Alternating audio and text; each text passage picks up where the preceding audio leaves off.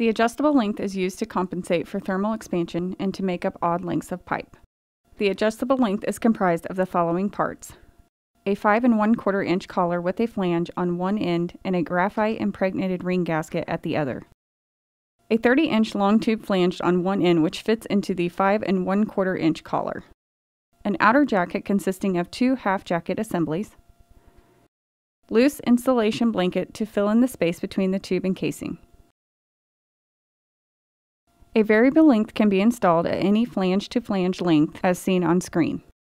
If the flue is too long to fit into the adjacent section of the pipe without interfering with the flow path, it should be trimmed to the desired flange to flange length plus 8 inches. Remove all burrs to ensure that the interference does not occur. Slide unflanged end of the tube into the upstream piece of pipe and complete the joint.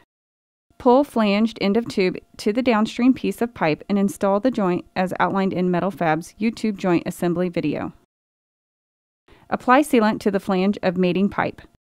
Slide the collar into position against the flange of mating pipe. Fill flange band with sealant and install joint as outlined in Metal-Fab's YouTube joint assembly video. Tighten the retaining bolts on the compression band. For insulation applications, cut the insulation to the desired length and wrap inner pipe, ensuring that it is covered completely before attaching to the outer half jackets. Wrap the two half jackets around joint with the bead at the downstream end and the punch edge overlapping the raw edge by approximately 3 quarters inch. Coat unpunched edge of casing with P077 sealant to waterproof the casing.